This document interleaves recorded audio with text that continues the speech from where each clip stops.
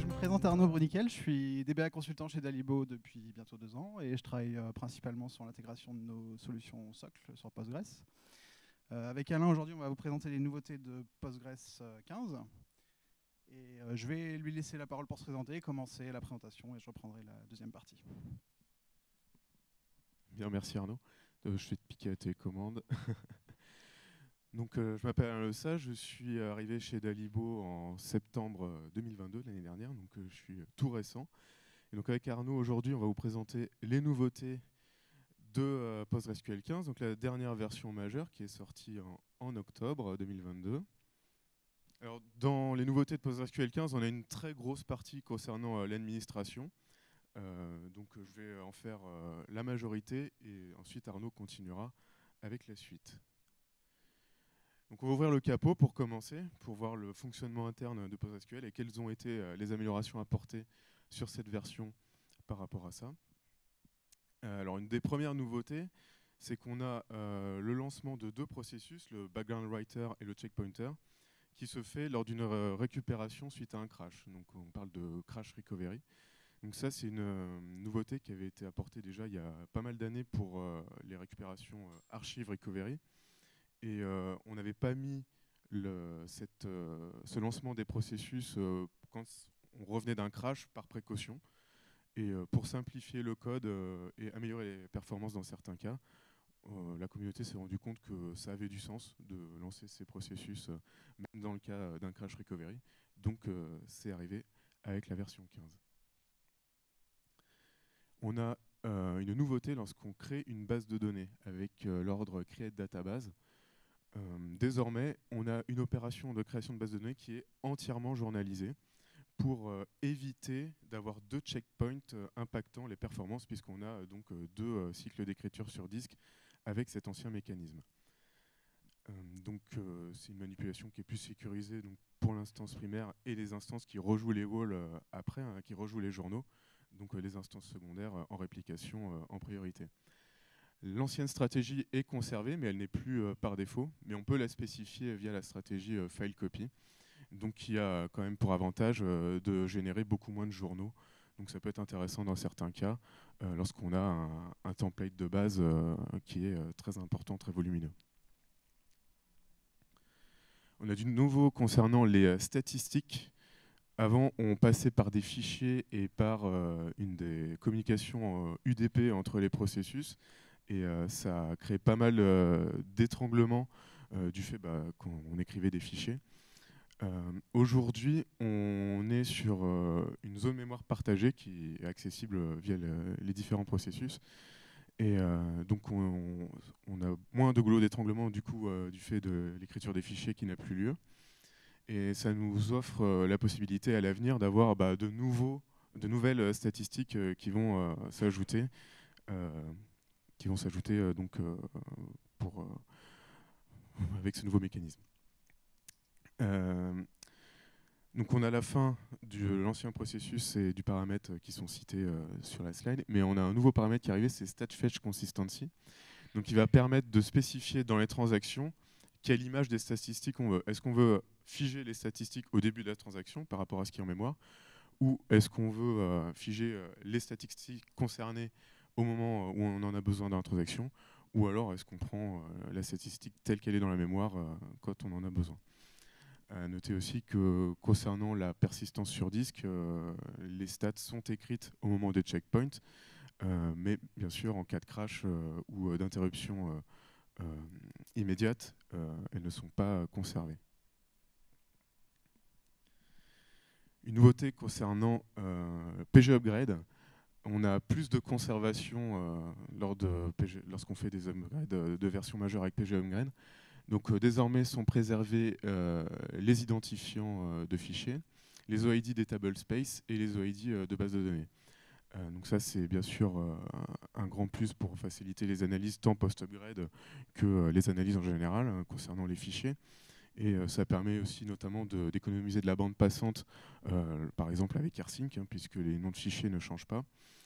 Et euh, aussi, on peut avoir euh, certaines extensions qui pourront bénéficier de ça, euh, notamment je pense au chiffrement, puisque les noms de fichiers ne changent pas, on pourra se baser toujours sur ces noms si on veut, par exemple, saler le, chiffrement des, fichiers. Concernant PSQL, on a des nouveautés aussi. tout d'abord, une optimisation des performances de copy from. Donc, en fonction des exemples, on arrive à des gains entre 10 et 20% donc c'est quand même pas négligeable. Tout ça parce qu'on utilise euh, des blocs de, données plus gros. Avant, on avait euh, pas mal d'overhead euh, perdus parce qu'on utilisait des, blocs de données trop petits dans, cette commande. On a des nouvelles commandes getenv et deconfig. Donc deconfig ou deconfig plus va vous afficher des informations concernant la configuration de l'instance. Et getenv est une commande analogue à setenv qui va pouvoir euh, vous permettre de récupérer une variable d'environnement. Donc, euh, pour l'anecdote, ça a été euh, ajouté pour faciliter les tests de non-régression de PostgreSQL. Des améliorations concernant l'autocomplétion. Donc, désormais, on a une recherche qui est insensible à la casse. On a l'affichage des noms complets lorsqu'on demande de l'aide dans PSQL. Donc, on aura l'affichage de toutes les commandes avec leurs noms complets et non plus les abréviations. Et on a aussi euh, beaucoup d'améliorations concernant l'autocomplétion euh, de commandes SQL. Et si vous avez fait la mise à jour mineure en 15.2, euh, vous avez même eu des bugs corrigés concernant cette partie-là. Passons à sauvegarde et restauration avec une nouveauté très importante de la version 15, c'est la fin des backups exclusifs. Jusqu'à PostgreSQL 9.5, on avait un système de sauvegarde qu'on disait exclusif et euh, qui posait problème puisque euh, le système faisait qu'on posait un fichier dans le répertoire de données et en cas de crash, l'instance était incapable de savoir si elle était au cours d'une sauvegarde ou au cours d'une restauration. Donc euh, un mécanisme de sauvegarde non exclusif a été introduit avec la version 9.6 et de ce fait, et les sauvegardes exclusives étaient dépréciées. Mais le mécanisme existait toujours dans PostgreSQL et était toujours utilisable jusqu'à aujourd'hui en version 15. La version 15 abandonne ce mécanisme. Donc pour éviter euh, de, mettre en péril et de casser euh, certaines euh, procédures de sauvegarde qui peuvent être en place depuis des années chez certains, décision a été prise de renommer les fonctions de Start Backup et Stop Backup en PG Backup Start et PG Backup Stop pour être sûr qu'avec cette mise à jour, on prenne bien en compte euh, la fin des backups exclusifs. On a un nouveau paramètre euh, concernant euh, l'archivage. Avant, on avait archive commande qui existe toujours, qui permettait de spécifier une commande shell pour archiver nos journaux. Désormais, on a aussi archive library, donc qui pourra charger un module en, mémoire pour faire ce travail. Donc on s'épargne l'appel au système d'exploitation et au shell pour, pour faire ça. Alors, euh, le but, c'est que des projets comme PG Backrest ou éventuellement Barman euh, s'approprient ce nouveau mécanisme. Euh, aux dernières nouvelles, on avait regardé avec Arnaud, c'est pas encore, c'est pas encore prêt. Mais on a un module d'exemple, Basic Archive, qui permet d'illustrer la fonctionnalité et qui est livré avec la version 15. Alors, durant le recovery, on a désormais possibilité de précharger le contenu euh, des journaux. Euh, ça ne marche pas sur tous euh, les systèmes d'exploitation. C'est pour ça qu'on a ces trois paramètres, try, on ou off. et donc le paramètre par défaut, c'est try. Et si jamais le système d'exploitation le supporte, eh ben on aura donc ce préchargement qui va permettre de gagner du temps de manière substantielle lors de la restauration. Et donc avec ça s'ajoute euh, une nouvelle vue pour euh, suivre euh, l'avancement de, ce préchargement. Et un paramètre qui permet de définir à quelle distance on peut lire les journaux en avance de phase. Une nouvelle option target dans PG Base Backup, donc, qui est une option modulaire. On a trois valeurs incluses par défaut, client, serveur ou black hole. Donc client permet d'effectuer une sauvegarde PG euh, backup euh, depuis le client auquel on accède euh, à l'instance. Serveur permet, si on a les droits et qu'on fait bien partie du groupe PG Write Server Files, ça nous permet de faire la sauvegarde directement sur le serveur où est l'instance. Et Black Hole nous permet de faire des tests. c'est juste, ça sauvegarde nulle part. Slash dev slash nul. Et on a aussi un module de démonstration, Base Backup to Shell, qui est fourni en exemple pour illustrer la possibilité de mettre des modules additionnels pour le paramètre target. Concernant la compression, on a euh, de nouveaux algorithmes euh, qui euh, sont inclus désormais. concernant l'écriture des pages complètes, les sauvegardes PG Base Backup et la récupération des journaux avec PG Receive Wall. Donc les nouveaux algorithmes sont LZ4 et Z-Standard. LZ4 est un algorithme qui est plutôt léger en consommation de CPU, mais qui ne va pas être le plus efficace en taux de compression. Et Z standard, c'est l'inverse, c'est un algorithme qui va être un peu plus intensif au niveau euh, processeur, mais qui va apporter un, bon taux de, compression. Par défaut, on a toujours euh, l'algorithme historique de compression Postgres PGLZ pour l'écriture des pages complètes et gzip euh, pour PG Base Backup et PG Receive Wall. On a des améliorations de performance concernant PGDump. Euh, c'est des petites optimisations, euh, notamment on a désormais une seule requête euh, pour spécifier les tables à exporter, avec une closeware qui permet de filtrer. Avant on avait une requête pour chaque table. On a des éliminations de sous-requêtes, donc ça permet d'avoir un peu moins d'overhead. Et dans le cas de requêtes répétitives, dans le cas d'un gros export, on peut désormais utiliser, enfin pgdump peut désormais utiliser euh, prepare execute pour euh, préparer la requête et calculer une seule fois le plan d'exécution et le réutiliser autant que nécessaire durant l'export. On a aussi un point important concernant les performances parallélisées des tables toast lorsqu'on a des gros objets. Auparavant, l'estimation des volumes des tables était erronée. On ne tenait pas compte du volume de données toast qui était associé euh, à une table. donc ça pouvait entraîner des erreurs euh, concernant bah, l'estimation des volumes des tables et la planification de la parallélisation de l'export. Et désormais, c'est corrigé. On a bien euh, les données TOS qui sont comptabilisées dans la planification et donc une parallélisation qui est mieux équilibrée. Des nouvelles vues et paramètres à commencer par euh, PG Hidden Files Mapping, donc qui est euh, analogue à PGHBA euh, Files Mapping, qui, reproduit les informations qui sont contenues dans le fichier pghident.conf, comme PGHBA File Mapping le fait pour pghba.conf. On a une vue système pgstat subscription stat, dont Arnaud va nous mentionner encore tout à l'heure dans le cadre de la réplication logique. Et on a désormais aussi des paramètres calculés pour euh, connaître euh, la mémoire euh, utilisée par notre instance compte tenu des éléments chargés avec Shared Payload Libraries, donc avec les modules complémentaires. donc on a une valeur calculée Shared Memory Size qui nous renvoie une, une valeur qui détermine la taille de la mémoire partagée, qui peut être très utile. Et on a l'équivalent en Huge Pages, donc qui permet euh, directement via l'instance de connaître euh, combien de huge pages on, a besoin si on veut euh, les activer. Des nouveautés concernant le partitionnement, notamment concernant l'update. Jusqu'à PostgreSQL 15, lorsqu'on avait un update sur une table partitionnée qui entraînait le mouvement d'une ligne d'une partition à une autre, on pouvait avoir un problème avec euh, les clés étrangères, puisqu'on avait un trigger qui se déclenchait euh, sur la table euh, fille, sur la partition. Et donc on pouvait perdre le lien de clé étrangère sur, la ligne qui a juste bougé de partition. Donc désormais, on a un trigger qui est sur l'update de la table mère et qui provoque une erreur dans ce cas et qui va nous dire là, on a une ligne qui veut bouger de partition, et ça enfreint la contrainte de clé étrangère.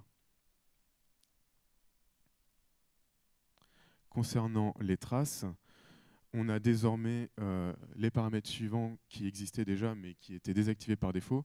Désormais, ils sont activés par défaut. Donc on a les checkpoints qui sont euh, tracés. Et lorsqu'on a des opérations de vacuum qui prennent du temps, on a aussi des traces qui sont mises par défaut avec une période mise à 10 minutes. On a désormais euh, intégré euh, en standard euh, la sortie des traces en JSON si on le souhaite. Donc ça c'est particulièrement utile pour les outils d'analyse de log. nous on a par exemple PG Badger qui prend déjà en charge les, traces au format JSON. Et on a aussi des améliorations concernant Vacuum donc avec une optimisation du code et euh, l'apport de beaucoup plus d'informations dans la partie euh, vacuum verbose. Donc euh, si on a besoin de débugger, ça sera beaucoup plus verbeux qu'avant. Et je vais laisser la parole à Arnaud pour la suite.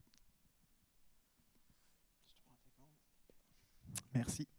Donc, toujours sur la partie administration, je vais vous présenter des, nouveautés diverses et plus mineures. Euh, déjà, on a des nouveaux euh, privilèges qu'on va pouvoir attribuer à nos utilisateurs avec la commande grant. Donc, on a le, set qui va permettre euh, d'autoriser un utilisateur à modifier un paramètre qui a le contexte super user dans PG Settings. Et donc, l'utilisateur pourra passer la commande set. Et on a également le privilège alter system qu'on va pouvoir attribuer à un utilisateur pour modifier des paramètres qui nécessiteraient un redémarrage de l'instance. Euh, donc ces paramétrages, on les, on les définit vraiment par rôle et par paramètre. Donc on va pouvoir définir finement quel paramètre quel utilisateur va, pouvoir modifier. Et on va pouvoir suivre ce qui a été mis en place à ce niveau-là via la nouvelle table système euh, PG paramètre ACL qui stocke cette config. Alors on a une modification sur le fonctionnement par défaut au niveau des droits. Donc par défaut sur une base de données, le, schéma public euh, en version euh, jusqu'à la 14 était accessible pour le rôle public, alors que ça a été euh, changé en version 15. Donc maintenant le, rôle public n'a qu'un droit d'usage, alors que le, droit à créer est uniquement attribué à un rôle PG Database Owner qui va correspondre au propriétaire de la base de données. PGDump a été adapté pour, par, rapport à ces changements. Et il euh, bah, faut faire attention pour les montées de version, puisqu'on peut avoir, euh, des surprises euh, en passage, pour le passage en 15 sur ces bases de données.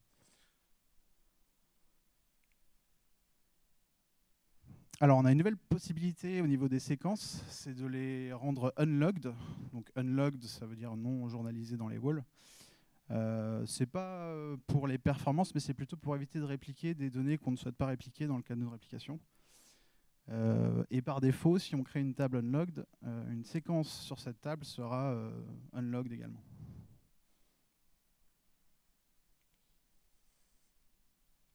Alors, on a une nouvelle variable d'environnement également qui permet de définir un pager pour la commande, la commande PSQL Watch. Donc, c'est une commande qui est similaire à la commande Watch du système qui permet de surveiller le résultat d'une requête. Et pour l'instant, il faut privilégier le pager PSPG puisque c'est le seul qui supporte ce flux d'informations. Et ça fonctionne que sur Unix. Alors, on a des améliorations sur les collations également. Euh, donc, on a la collation euh, ICU qui euh, existe depuis plusieurs versions maintenant et qui permet de s'affranchir des problématiques de montée de version de la libc qui pourrait casser les index qui sont ensuite à reconstruire. Donc euh, ces collations ICU, on peut les définir maintenant au niveau de l'instance et au niveau de la base de données. Donc via des options de initdb et euh, createDB. Euh, donc on va définir le provider ICU via local, provider et la locale la locale de la collation ICU dans ICU local. L'option existe évidemment dans le create database également. Euh, et du coup, on a aussi euh, euh, une nouvelle colonne dans PG Database pour, pour avoir la, version de la collation ICU et une nouvelle fonction qui permet d'avoir la version de la collation sur le système. Ces collations, quand on a des mises à jour des versions, elles ne vont pas se faire automatiquement et casser les index. C'est à l'administrateur de décider quand elles sont effectuées via une commande alter database refresh collation version. Donc on a plus, de, on a plus le choix de quand ça se fait avec l'ICU. Alors PG Rewind a une nouvelle option pour définir où il doit aller chercher son fichier de configuration. En fait, l'option Restore Target Wall permet d'aller utiliser la Restore commande qui est dans le fichier de conf de Postgres. Mais si votre fichier de conf n'est pas dans le PG Data, on ne pouvait pas l'exploiter. Donc maintenant, on va pouvoir spécifier euh, l'emplacement de notre fichier de config. Et ça va être utile notamment sur Debian où la config est par défaut dans etc. Et non pas dans PGData.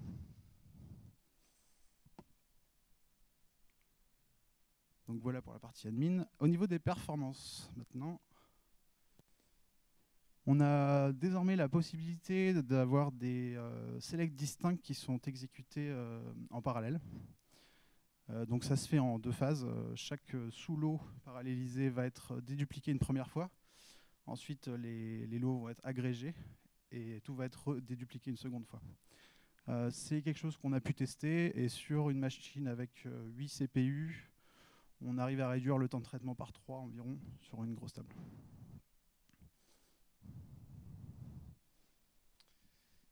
Alors on a également des nouvelles statistiques dans l'extension PGStatSegments. Euh, donc on a des nouveaux champs qui sont ajoutés pour euh, monitorer l'activité de JIT, le Just-in-Time Compiling, puisqu'avant on n'avait pas vraiment de, méthode pour, euh, pour savoir à quel point il était utilisé dans, notre, dans nos contextes. Donc on va pouvoir suivre ça avec ces, ces nouvelles colonnes. On a aussi des informations en plus sur le temps d'accès aux fichiers temporaires, donc pour troubleshooter des éventuels problèmes de, de latence liés à l'accès au disque trop, trop, trop fréquent. Et ces nouveautés font que l'extension passe en version 1.10.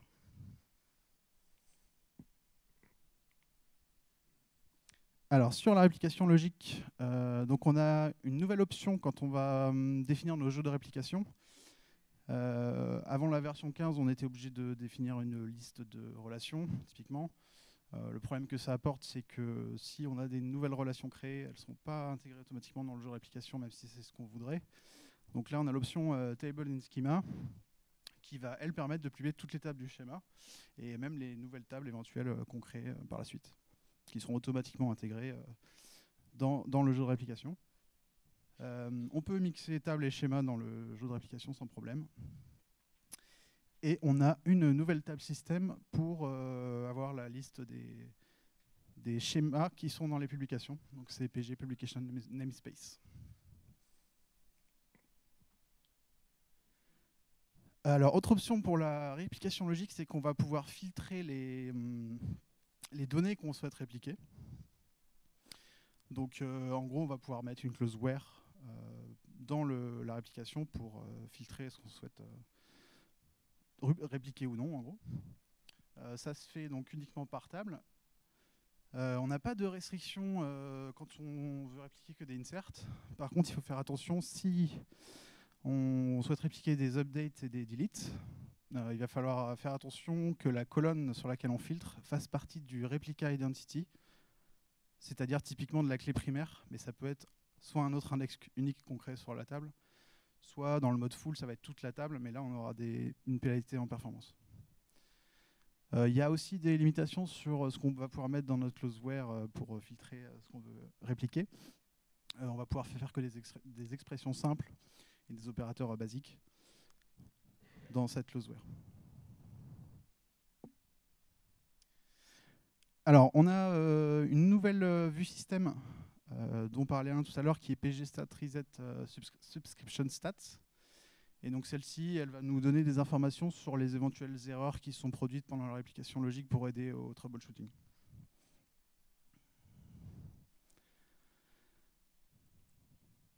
Alors, sur la partie développement et SQL, donc il y a une nouvelle commande SQL euh, qui est ajoutée en version 15, c'est la commande merge, qui, existait, euh, qui existe déjà dans d'autres SGBD, et qui va permettre de faire une insertion, euh, mise à jour et ou suppression conditionnellement. C'est-à-dire qu'on va faire, ça va être typiquement une grande commande avec, avec deux sources de données qu'on va essayer de fusionner selon certains critères qu'on va décider. On va dire euh, when matched, euh, qu'est-ce qu'on doit faire, etc. Donc c'est très flexible.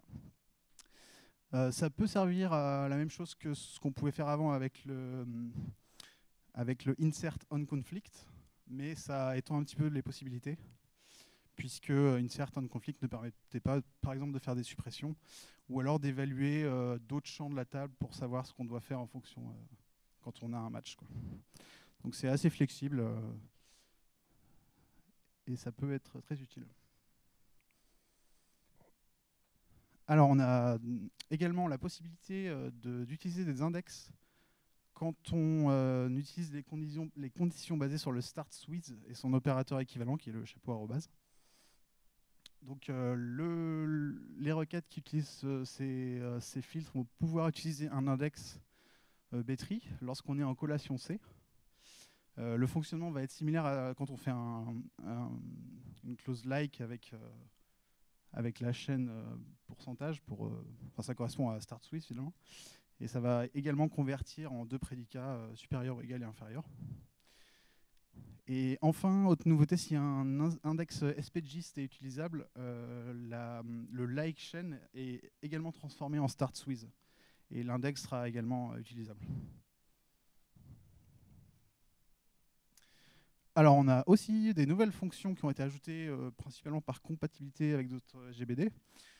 Donc on a regExpCount qui permet de compter les occurrences d'une expression, le inString qui permet d'aller euh, récupérer la position de, de la énième occurrence de l'expression, le like qui permet d'aller vérifier la présence d'une chaîne dans une autre chaîne et qui renvoie vrai ou faux, le substring qui permet d'aller récupérer la valeur littérale de la énième occurrence de l'expression, et euh, on a aussi une fonction améliorée, c'est le regexp replace, donc qui fait en gros un rechercher remplacer, qui a été étendu puisqu'on peut lui donner une position de départ et un nombre d'occurrences à remplacer, ce qui n'était pas possible avant la 15.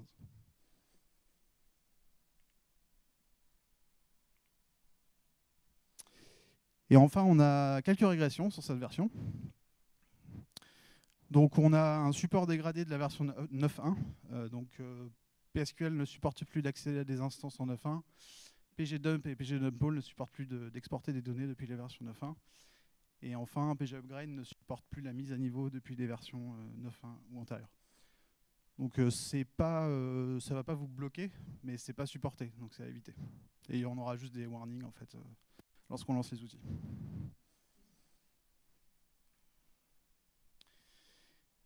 Et enfin, Python 2 a été déprécié. Donc euh, le langage euh, PL Python 2 qui implémente Python 2 via euh, qui implémente PL Python via Python 2 a été supprimé. Et donc au profit de PL Python 3U qui, est recommandé d'utiliser aujourd'hui.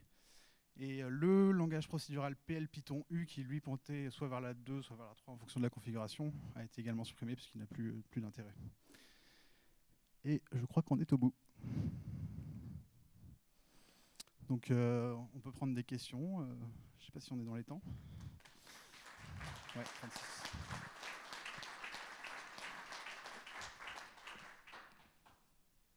Des questions dans le chat Ouais Qu'est-ce que vous recommandez pour euh, les, enfin, comme période de mise à jour enfin, Quand, quand est-ce que vous proposez de faire des mises à jour en 15 euh, tout de suite, euh, attendre un peu bah, Typiquement, on, est peut-être, c'est peut-être un peu plus sécurisant d'attendre la première révision mineure, mais comme elle est sortie la semaine dernière, n'hésitez pas. Parce que la 15.2 est sortie la semaine dernière.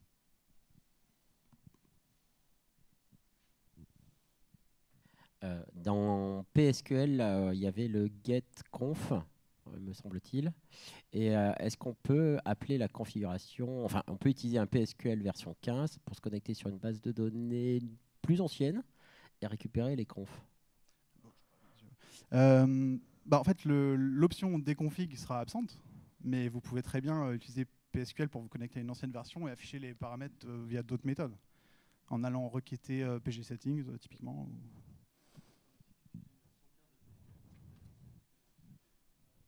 Est-ce que le déconfig marche sur une ancienne instance euh, Ça, je ne pense pas. Euh, mais j'ai pas testé, alors il faudrait, voir.